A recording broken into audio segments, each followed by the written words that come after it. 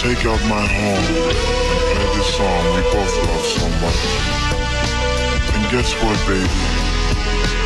Our song seems to erase all the hurt, all the pain, and most of all the emptiness I feel since you've been gone.